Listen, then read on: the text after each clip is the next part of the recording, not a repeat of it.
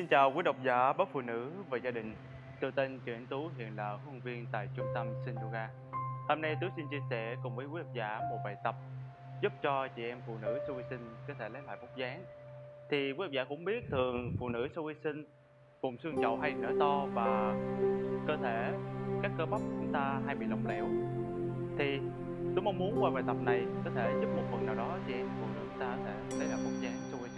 Không chần chờ nữa, quý học giả hãy cùng với chúng tôi thực hiện bài tập yoga này nhé. Và bây giờ chúng ta sẽ bước vào tư thế đầu tiên, chúng ta đứng trụ gối. Ở thế này giúp chúng ta sẽ tập trung vào phần đùi và phần xương chậu. Thì ở động tác khi chúng ta giữ động tác giữ lâu á thì sẽ giúp cho quý độc giả cũng như các chị em phụ nữ chúng ta sẽ lấy lại vóc dáng, tập trung phần đùi, làm thon phần đùi và giúp chúng ta làm nhỏ phần xương chậu lại. Bây giờ chúng ta sẽ vào thế chuẩn bị, hai chân mở rộng bằng hông, và bây giờ chúng ta từ từ trụ hai gối xuống. Hơi mở lồng ngực, Đổ về trước Và hai tay đưa lên. Mắt chúng ta nhìn theo hai tay. Quý độc giả cũng như các chị em phụ nữ, chúng ta chú ý rằng khi thực hiện động tác này, Từ tay chúng ta trở về vùng thắt lưng, chúng ta sẽ tạo một đường thẳng. Lên vào. Lặp lại lần hai, Thở ra. Như quý độc giả chúng ta cũng đang thấy các huấn viên thực hiện động tác là từ tay trở về vùng hông của chúng ta đang tạo ra một đường thẳng. Hít vào. Thở ra.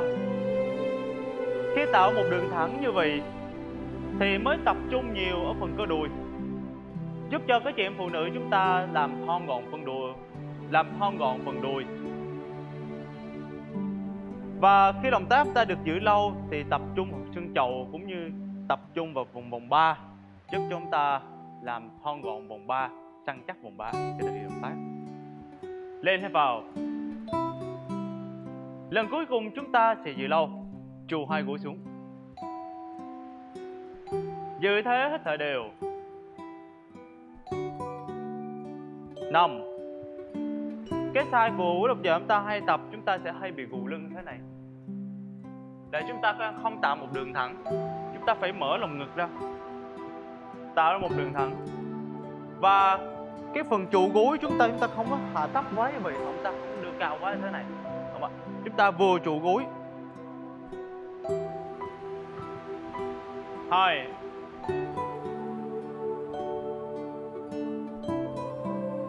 Một và lên vào hai tay đưa lên và bây giờ chúng ta sẽ chuyển sang tư thế thứ hai, tư thế tấm ấn nghiêng. Và tư thế này, hai chân chúng ta mở rộng gấp đôi vai. Sau đó hai tay dang ngang. Mở mũi chân phải. Tay phải từ từ hạ xuống, đưa vào trong lòng chân phải. Tay trái đưa thẳng lên, mắt nhìn theo tay.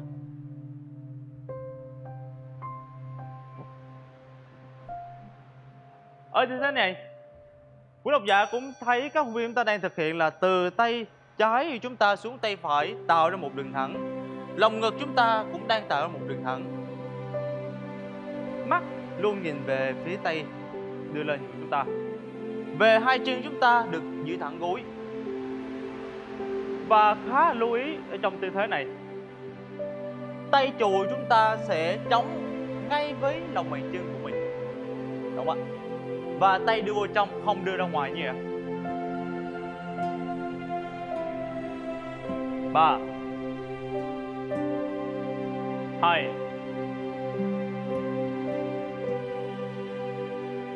Một, tư thế tiếp theo chúng ta sẽ chuyển sang tư thế chiến sĩ. Từ từ trù gối phải xuống. Giữ thẳng cuộc sống lên, hai tay dang ngang. Mắt nhìn theo tay ở thế này quý độc giả cũng như các chị em phụ nữ chúng ta chú ý rằng phần chân trụ chúng ta là từ gót chân lên gối. Và từ phần đùi sẽ tạo đường vuông góc. Chân sau chúng ta được giữ thẳng. Và mũi chân sau chúng ta mở ra một góc 45 độ. Hai tay dang ngang. Và ở tư thế này, lưu ý quan trọng nhất trong tư thế chiến sĩ chúng ta là từ phần cổ đến vùng thắt lưng chúng ta là phần cột sống luôn luôn được giữ thẳng chúng ta không bị đổ người về trước như thế này hoặc chúng ta bị kéo về phía sau, đúng không ạ? Luôn luôn tạo một đường thẳng. Ba. Hai. Mắt chúng ta luôn nhìn theo tay.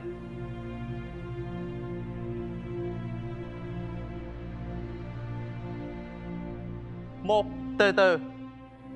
Giữ thẳng gối phải và chúng ta hạ hai tay xuống từ từ gặp người sát vồ thẳng hai gối.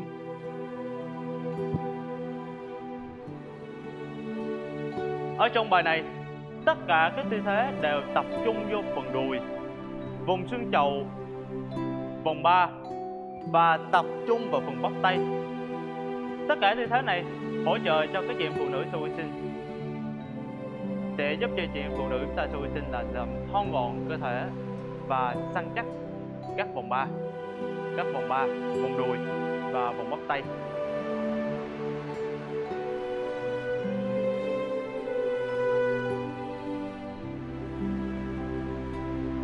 Tư thế tiếp theo chúng ta sẽ chuyển sang tư thế gì thăng bằng. Bây giờ chúng ta sẽ đổ người về phía trước, Tập trung về bên chân phải. Sau đó chúng ta nâng chân trái lên. Quý học giả chúng ta thực hiện động tác chúng ta nâng hết khả năng của mình là được.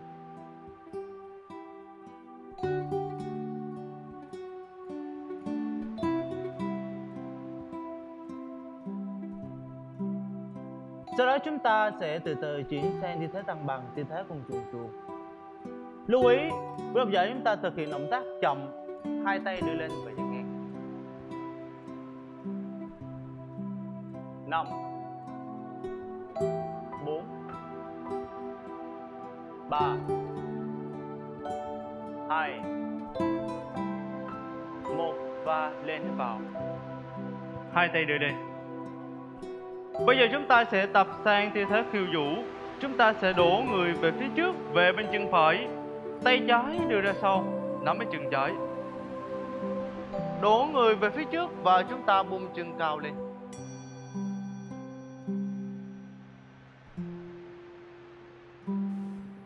Ở thế này, Ngoài tập trung vào phần đùi, Xương chậu,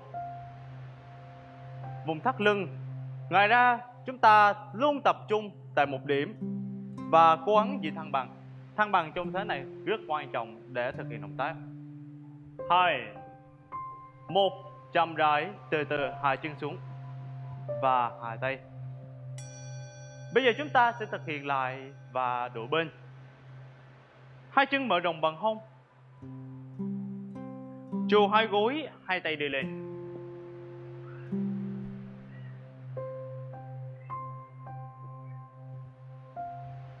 Lên hết vào? Thở ra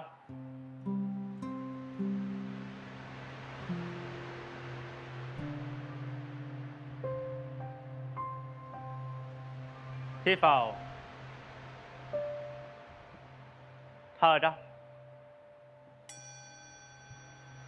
Bây giờ chúng ta chú ý, chúng ta thực hiện một động tác chúng ta, nhất là tư thế trụ gối này, chúng ta thực hiện ba lần động và một lần tỉnh, một lần tỉnh chúng ta sẽ giữ lâu tầm khoảng 5 hơi thở sâu lần cuối cùng lên vào. Thở ra và giữ lại.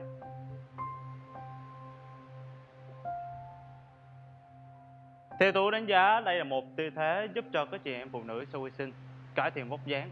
Tư thế này rất quan trọng. Tại vì sao ạ? À? tư thế này chúng ta sẽ tập thon gọn phần bắp tay.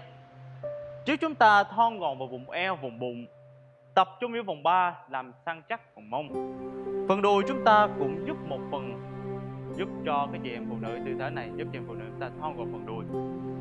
Hầu như thế này rất là quan trọng cho cái chị em phụ nữ chúng ta giữ dáng Đây là một tư thế khá là quen thuộc của chị em phụ nữ ta hay tập trong phương pháp yoga.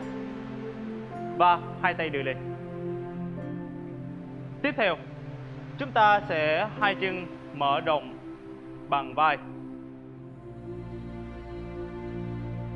Hai tay dang ngang.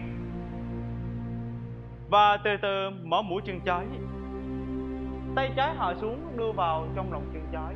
Lưu ý khi hạ xuống quý giờ dạ chúng ta hạ ngay lòng bàn chân của mình luôn bằng với lòng chân và ở trong lòng bàn chân trái. Tay phải đưa thẳng lên, mắt nhìn theo tay. Khi vào động tay thế này quý giả dạ luôn luôn sẽ tạo một đường thẳng được.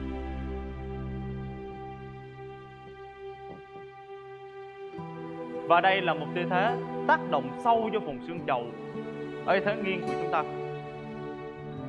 Mà, khi nghiêng là tác động sâu vùng xương chậu đây là một tư thế khá là quan trọng cho cái chị em chúng ta muốn làm nhỏ vùng xương chậu của mình.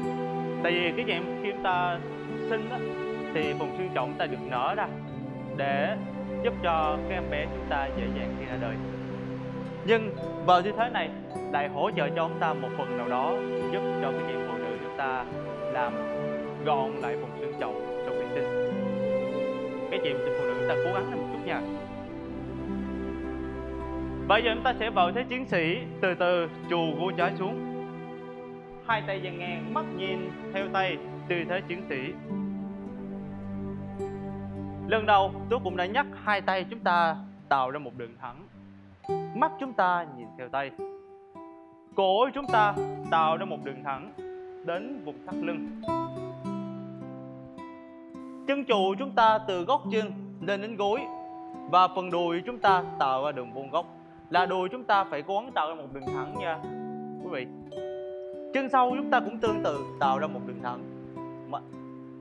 Ở thế này, chúng ta, huấn luyện chúng ta làm rất là chuẩn. Nếu xét về góc độ định tiến trong yoga thì tư thế này là chuẩn nhất rồi.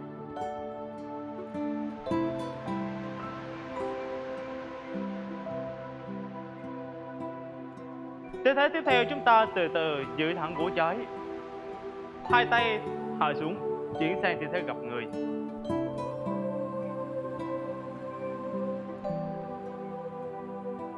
Ở thế này, các huấn viên chúng ta thực hiện rất là tốt và rất là sát. Nhưng với quý độc giả hay cái chị em phụ nữ sau sinh thì không thể dẻo được như vậy. Thì chúng ta sẽ theo sức của mình. Đúng không ạ chúng ta gặp người ví dụ như quý vị chúng ta thực hiện tới đây, thì cứ giữ lại, cái quan trọng nhất không phải ép sát mà cái quan trọng nhất ở tư thế này là quý độc giả chúng ta giữ thẳng hai gối. Còn vào sức của mỗi người, chúng ta ép sát cơ thể vào. Được tới đâu, giữ lại tới đó. Được không ạ? Cố gắng hết thở đều.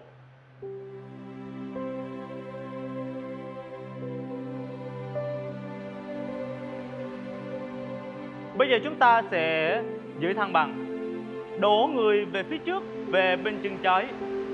Sau đó chúng ta nâng nhẹ chân phải lên. Ở thế này khi chúng ta thực hiện động tác giúp cho cái chuyện phụ nữ chúng ta làm tập trung vào phần đùi, làm thon gọn phần đùi.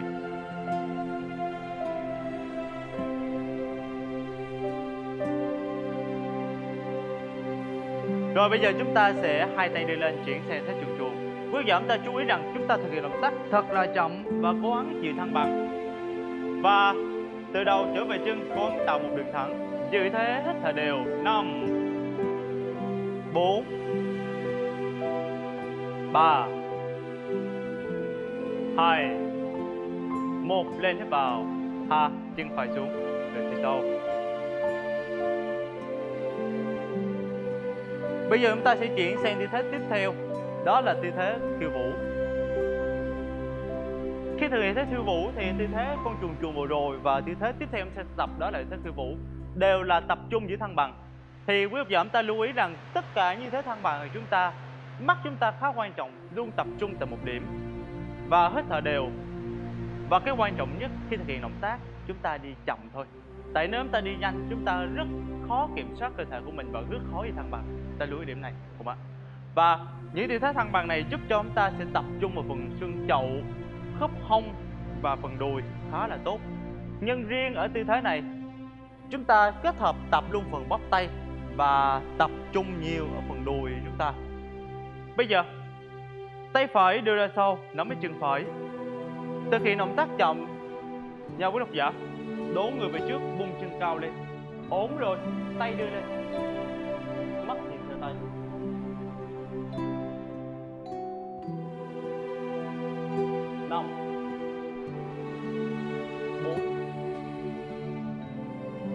3 2 1 Chậm rãi, từ từ hạ xuống. Đổ người về trước. Người hơi không Mắt nhắm. Hai tay chúng ta được thả lỏng. Và chúng ta vợi tới thư giãn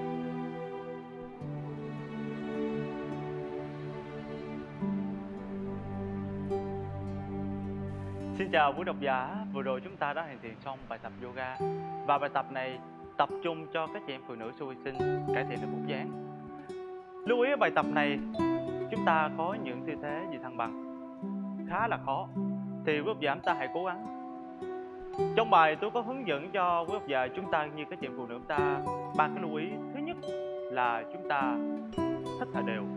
Thứ hai là mắt chúng ta luôn tập trung tại một điểm và thứ ba là cái quan trọng nhất của chúng ta là luôn di chuyển động tác chậm. Tại khi chúng ta di, di chuyển động tác chậm như vậy thì chúng ta mới khống chế cơ thể được. Và tôi hy vọng bài tập hôm nay sẽ giúp cho cũng như tạo nên một không khí cho quý độc giả chúng ta nhiều điều thú vị. Và cảm ơn sự quan tâm của quý độc giả. Xin kính chào và hẹn gặp lại.